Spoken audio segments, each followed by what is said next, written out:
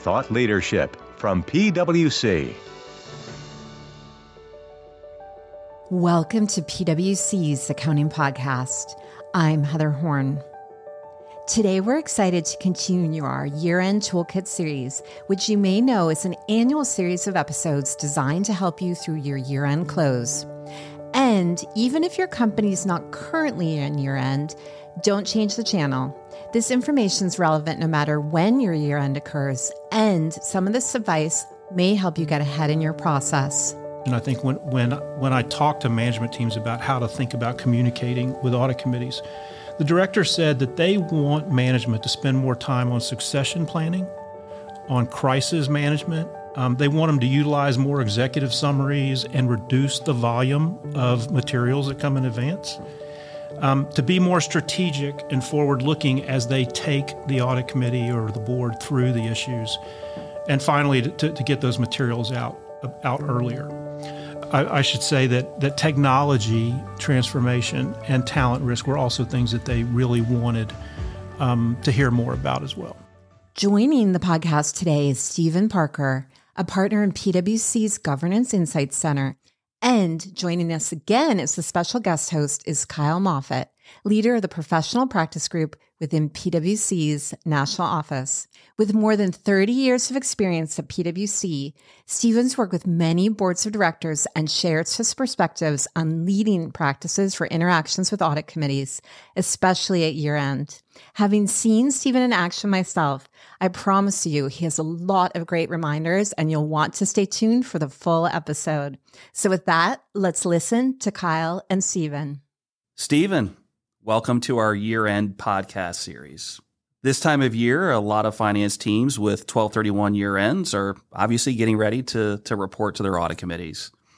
I know there's no shortage of new issues to cover. Obviously, very busy uh, year in, in, the regulatory space. Um, before we dive into uh, the specifics uh, on these various focus areas, what are some of the challenges that, that you are seeing today in the engagement between management and the audit committee? Kyle, first, thanks for having me.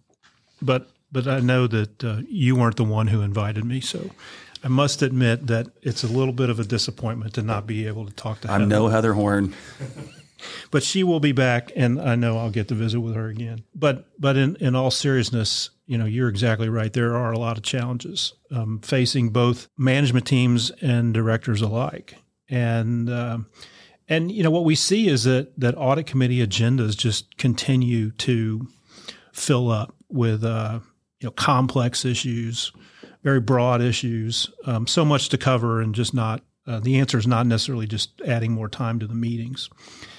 And, and I think as we talk to directors, as we hear from them, and and we talk to management teams alike, what we find out is that you know there's an opportunity here for management to continue to assist these directors and audit committee members in understanding how the company is specifically impacted by some of these these items.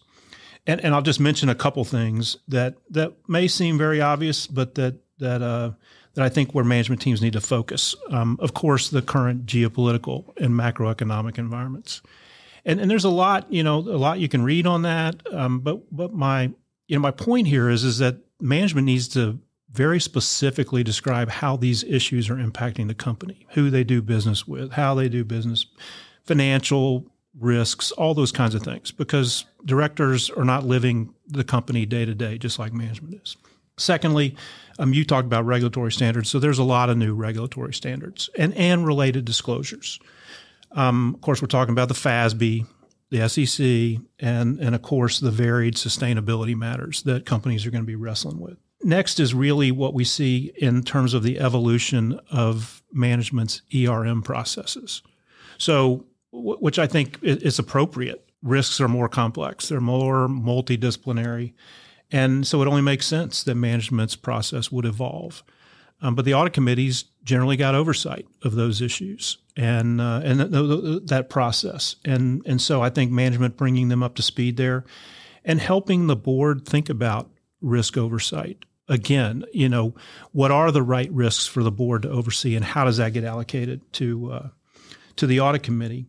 And two last things, just just the new technologies mm-hmm. that we see. The, I'll even say evolving technologies. They're not all new. Some of them are just changing at rapid paces, and and the risks and opportunities that are created from these transformation eff- efforts. And then finally, I think to to help audit committees, it's really focusing on that talent strain that companies are seeing.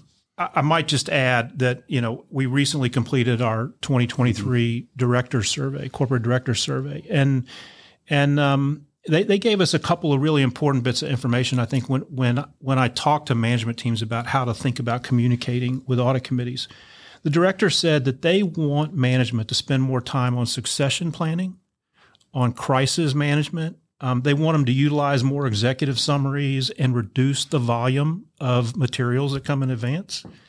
Um, to be more strategic and forward looking as they take the audit committee or the board through the issues and finally to, to get those materials out out earlier. I, I, should say that that technology transformation and talent risk were also things that they really wanted um, to hear more about as well. Mm-hmm. You know, it's interesting. You you you mentioned oversight and continued through a kind of that first portion, just highlighting like oversight, oversight of the board, and I think the interesting piece there is that we have seen from this SEC, from this administration, their focus and emphasis in rulemaking, right, on the importance of board oversight. And I think they're, I mean, don't you think that they're certainly feeling that pressure? I mean, obviously, with, we'll talk a little bit about cyber, but like all of these new requirements, you know, I think that it's just a different focus. And I think that that is that's tending to drive in a different direction than maybe where it's been in the past. And I think this administration, Chair Gary Gensler, you know, the other commissioners, the leaders of these various divisions and offices of the SEC are heavily focused on that, the importance of the board of directors and the audit committee's role uh, in, in, an organization. Are, are you seeing that as well? And are they feeling that pressure? I think they are feeling that pressure, and I think that's why you know they're willing to talk to folks like us more and more to understand how uh, what we're learning from others. Um, you know, the cyber rule when it came out, it just basically hammered that nail in the yeah. coffin around disclosure of oversight, not mm-hmm. just management's right. oversight yeah. of that risk, but also the boards. And of course, the stakeholder voice that came before the regulator rule was also driving change there. And and I think they recognize that whether it's human capital, whether it's sustainability, whatever's next is is going to involve um, some, tr- greater transparency around what does oversight look like, and so there's just greater focus, you know, from everybody's part. Yeah. So, so with that kind of in mind, so what are the real hot button issues in this current environment that, that you think audit committees are, are looking to hear from their management teams? Um, about today. Well, you know, the, the trends in the business. You talked a little bit about that. Really, just to make sure that that they they feel they've covered off kind of what's needed from a governance perspective. Yeah, and, and I'm gonna um, I'm gonna talk you know like immediate term and then a little bit longer term. Okay. So so I mean, in the very immediate term, I think I think audit committees want to hear specifically about how those, how those matters we just described are really impacting year-end processes and controls. Some some of them might, um, they're certainly going to be impacting disclosures in the 10K. Mm-hmm. And, and I mean, this is throughout the document. So this is the description of the business. This is in risk factors. Could very well be in MD&A. I think there'll be an expectation that, that there will be some incremental disclosures in MD&A, and then of course in the footnotes. Um, and, and, they're also going to want to know about how uh, how management teams are thinking about their their forecasts that they have built for 2024 and, and what are the potential downside risks that the company could experience given the complexities? And, and I, I think when you consider what we've experienced in the last three years, and and I get this from really smart people that I get a chance to talk to, but but it's it's not the old normal, if you will. I mean, I think we're moving towards a new normal. The the trends that economists would normally forecast based on certain events as they've occurred don't exist anymore. And so I don't think it's fair that, you know, you think about 2020 forecast and, and it's a kind of a point forecast. It's mm-hmm. one data point. I, I, think when you talk to the audit committee uh, or to the full board, that you need to be talking about what are the different scenarios. You need to have mm-hmm. multiple scenarios because if if you think it's going to happen, it's likely going to happen some you know a different way. You so, sound like the the economist on the at the AICPA conference uh, last week that I attended in D.C., where that that essentially was the message of like, well, it could go this way, it could go this way, it could go that way, and it's like, okay, we just don't have any clue which direction things are headed. And it is. It, it obviously highlights the challenges that, that, that companies and, and, of course, management boards are, are facing.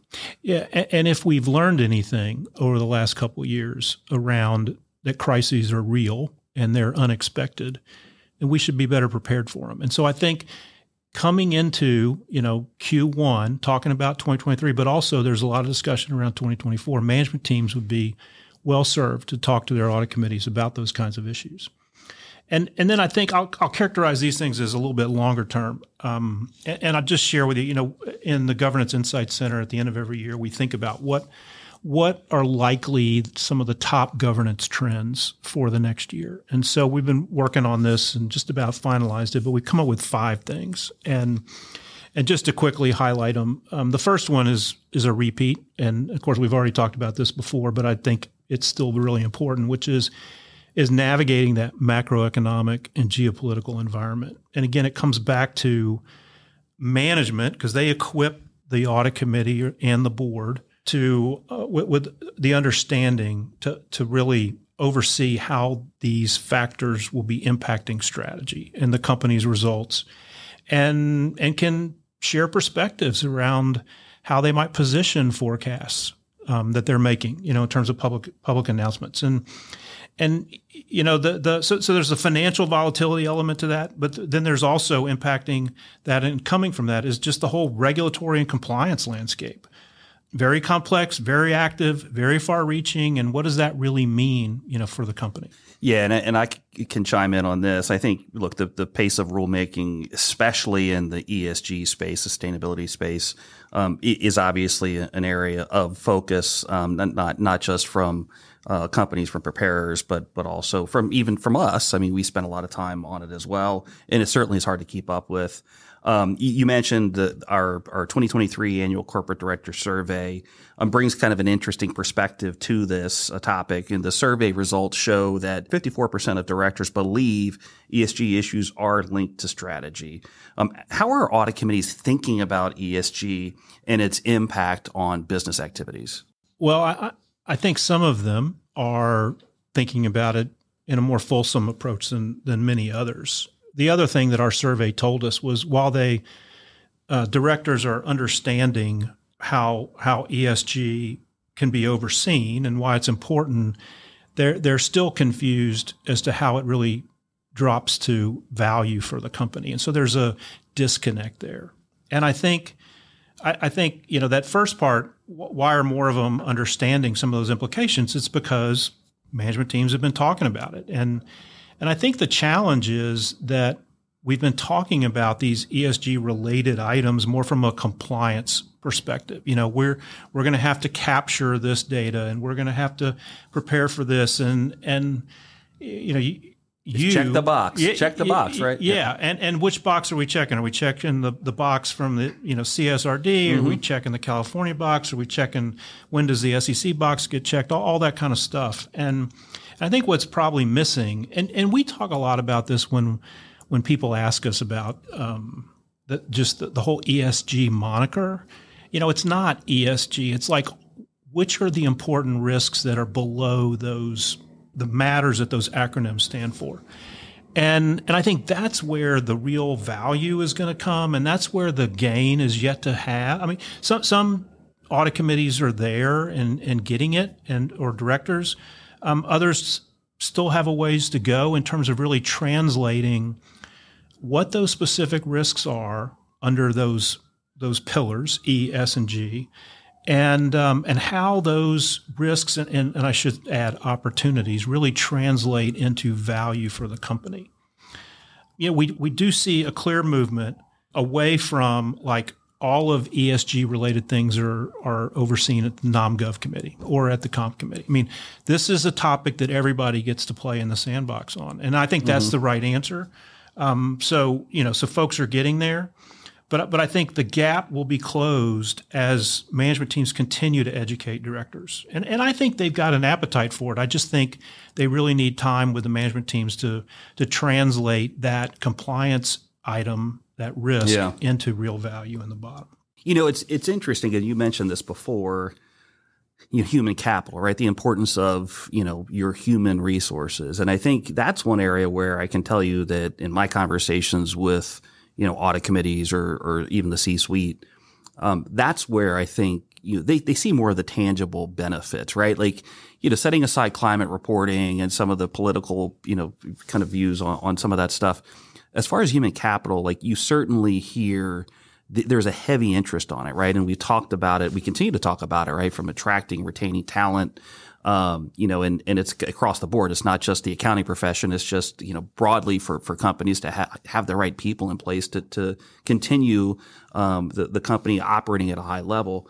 Um, and I think that that's one of the things that, you know, there, there is, there is value. It's just very challenging for audit committees, for board members to understand the direct financial impacts, right? And so I think that's part of it is is bridging that gap. It's Yep. very important for for management to to do that.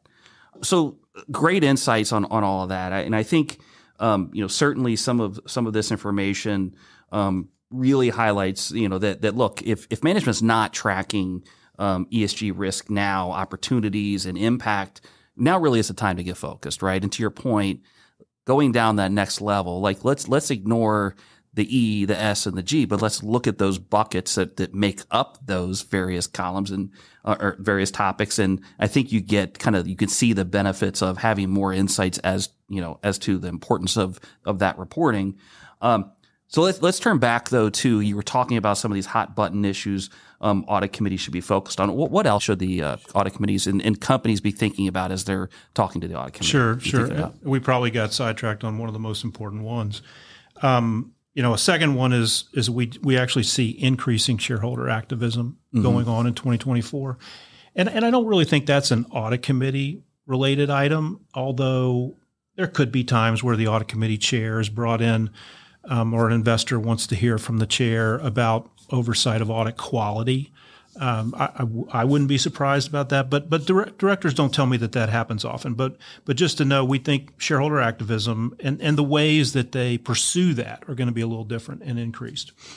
Um, we we also think that there will be um, I'll call it a fortification an alignment in strategy and risk. So I mentioned in my earlier comments about um, the, the the current environment really driving companies to think about risk differently, that ERM process to be different, and um, and I think directors are beginning to understand that that strategy and risk have to go hand in hand. In the old days, where where you did a strategy session, you know, maybe in August, and you did you know oversight of ERM in December from the internal auditor, um, and there was never this link um, and the board didn't deal with okay what are the the real risks? How have they evolved? Do we have them at the right committee with the right competencies? I just i really think there's a recognition and a movement to that alignment. And i think management teams can help directors in, in getting there on that.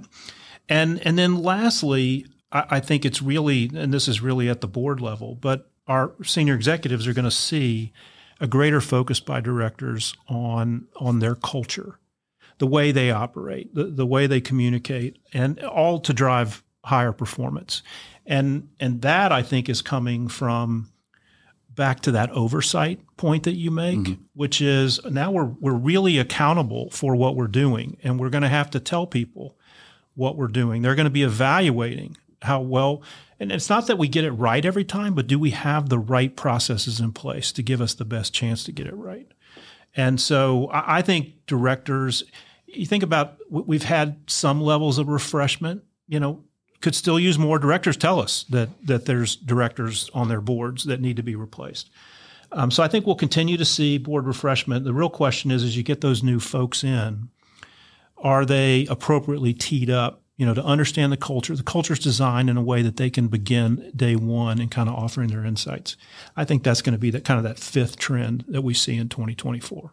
No, that that's incredibly interesting, and I think very insightful, at least for for you know our audience listening to this. Just understanding the importance of culture, and it starts at the top, right? And and I think it's tone at the top, and and we hear that, like we hear that from you know standard setters. We hear that from the SEC. We hear that from uh, the the PCAOB, not only at companies but even you know the accounting firms as well. So um, really great perspective, Stephen. Um, so, so let me dive a little bit into what we're hearing from directors. And so again, back to our survey, um, it does show that 49% of directors see cybersecurity as a significant oversight challenge. Um, and that number has decreased a year over year, um, but also shows that 64% of directors reported an increase in agenda time allocated to cybersecurity, which is no surprise there. Right, right. Um, I can tell you that I've probably spent more time talking to boards about cybersecurity um, and, and, clawbacks than probably any topic that I ever thought I, I would do. Um, can you talk a little bit, just unpack that for us? Yeah, yeah, sure. And I, I, think this is a really unique area because we spend a lot of time talking about this too. Um, oversight of cybersecurity is one of our most requested topics when we're speaking with management teams or, or with directors. And and I think you know the statistics you have to kind of um, I, I don't know whether it's dig into them or or stand back a little bit and pay attention to them, but but so you know our headline there is that fewer directors see cybersecurity as a risk. Well, it went from like fifty nine percent to forty nine percent or something. So still half of the directors are saying are concerned. it's a risk. Yeah. So I don't know how good we should feel about that, but but I think it is okay that there is a lot of progress being made. Um, I, I, can tell you that um, that even in our uh, peer exchange meetings, so we we will often have directors gather and we ask them for topics that they want to talk with each other about. Cybersecurity, oversight of cyber, cybersecurity is in the top three every time we do those kind of exchanges. That they want to visit with each other about what they're doing, and and I think you know where directors find themselves today is that that while like I said, some significant improvements have been made. There, there's still a long way to go. And and here's what we hear directors talking about when they give credit to to kind of making strides. And this this makes sense to me, and, and I see this uh, often in my interactions. But but they they get regular reporting from management. So not certainly not one time a year. I know there's some companies that, that don't have you know, kind of the, the, the, most significant cybersecurity risk or as significant as others. Maybe it's twice a year, but but I'm hearing more and more there's some element four times a year, mm-hmm. really. Yeah. And it's not just hearing from the the CEO or the CFO. It's hearing from the chief technology officer. It's hearing from the chief security officer. And I think that's really important that that the audit committee, because most oftentimes cyber oversight sits at the audit committee, but but if not, then the board is getting to hear from some some place in management below that C-suite. Again, it kind of gets to that. So does the tone at the top really trickle down? Do they really understand this exposure and how, how well can they communicate it? So in addition to hearing about it more and, and more regular reporting and specific reporting, um, I hear directors talk about focusing on outside training. Their uh, companies would go a long way to encourage and and and promote Absolutely. directors taking outside yep. training. I haven't heard of any that have done that that say it was a waste of their time. Um, but also, if, if, if you're not going to do that, well, then bring the experts into the meeting. You know, let them spend 10 or 15 minutes. I think getting that objective voice from somebody other than management is really important in terms of educating um, audit committee members. Um, having a robust discussion around what are the, the, the escalation protocols if something happens. Um, wh- whether that, you know, a lot of times that comes up in, as a result of tabletop exercises.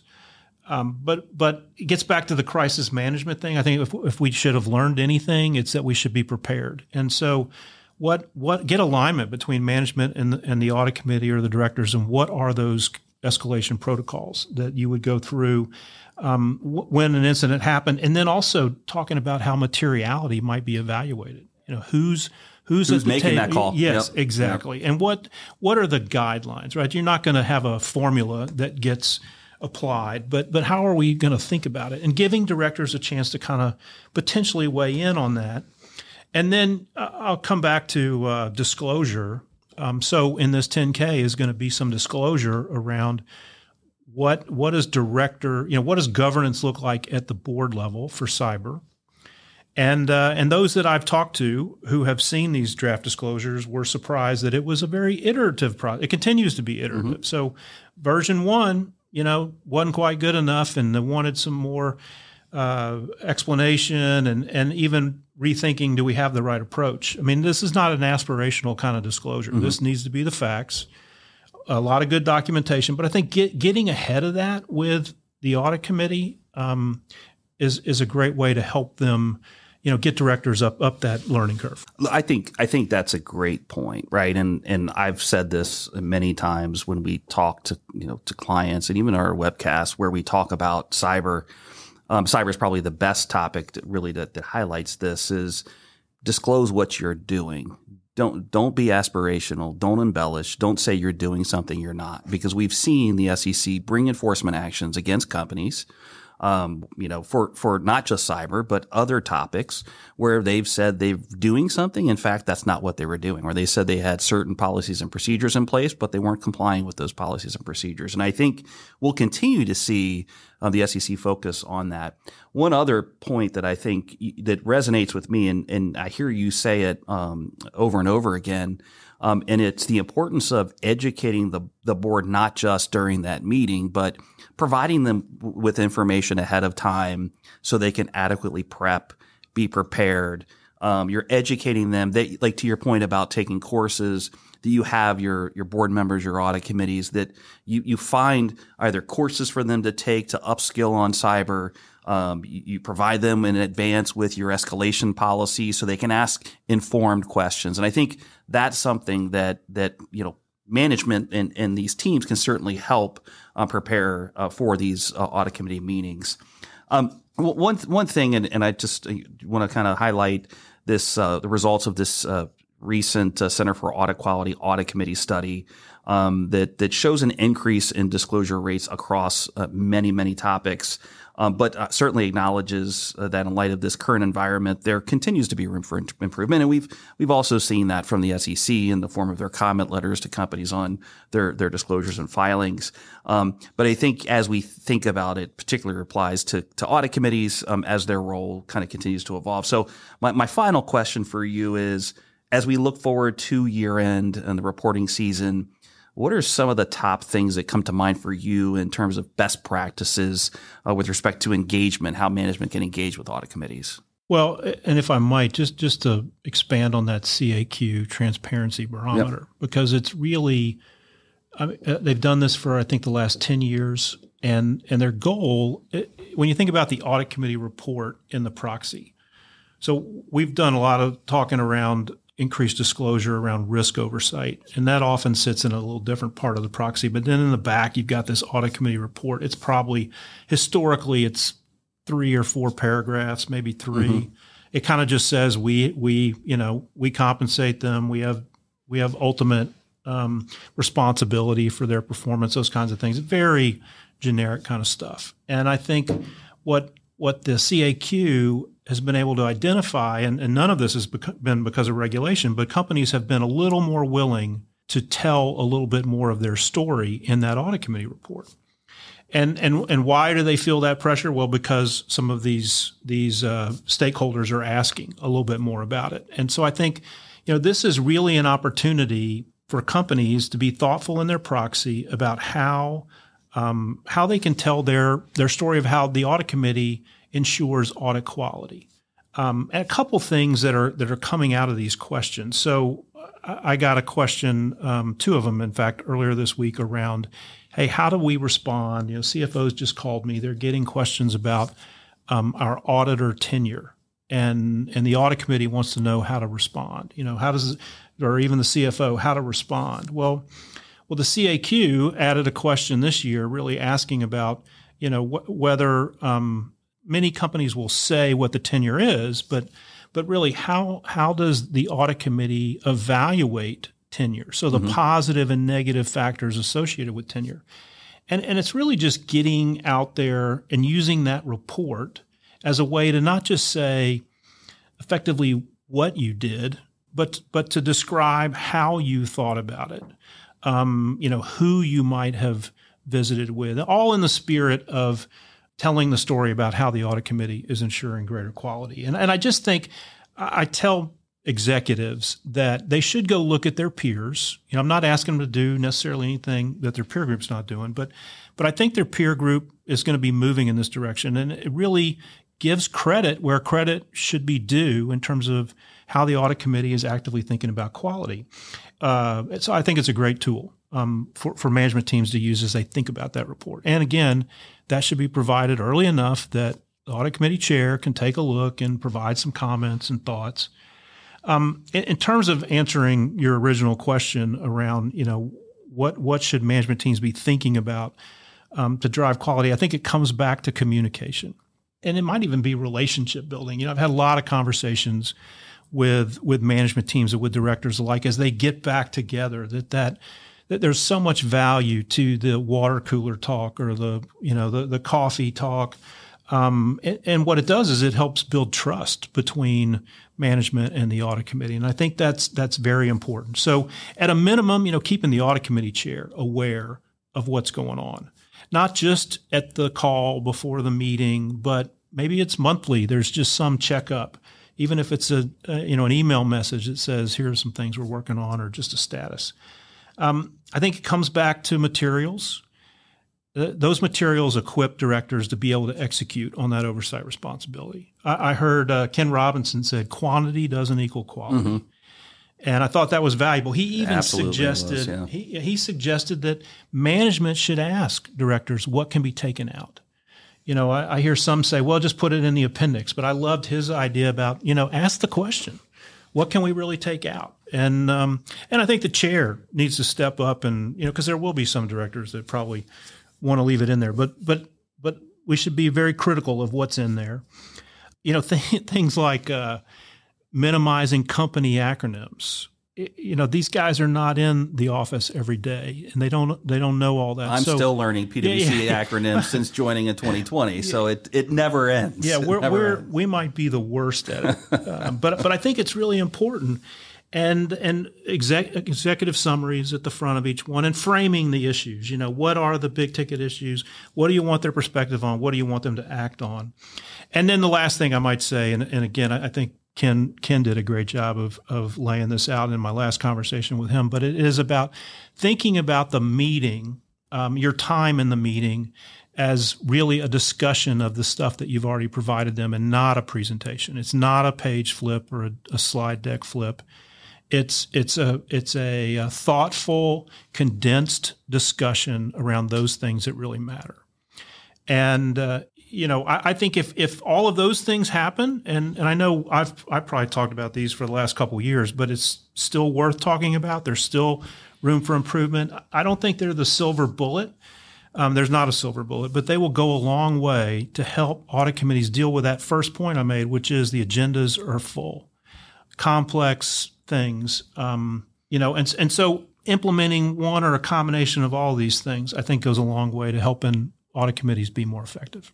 I think that's that's very well said. And and one of the things that I think really stands out to me from kind of this conversation um, is the importance of everyone being involved, seat at the table. So it's got to be across the organization. So when you want to upskill or have conversations with your audit committee chair or their board members, the importance of involving the right people pulling in the right people, whether it's investor relations, whether it's you know your you know counsel, general counsel, the the importance of financial reporting. And you talked about proxy, like you look at proxy statements, right? You you Stephen, you look at proxy statements and and you know have observations on it. and You share them today.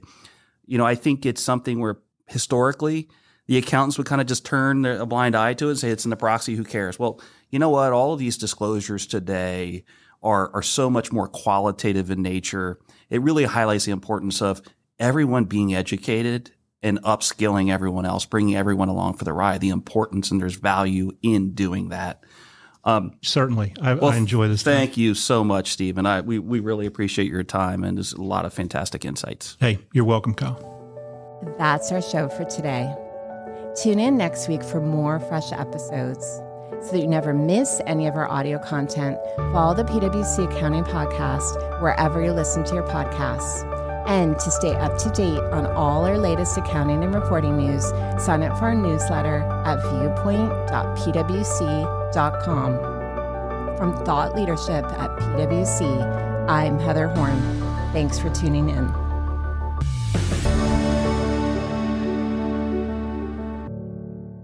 This podcast is brought to you by PwC, all rights reserved.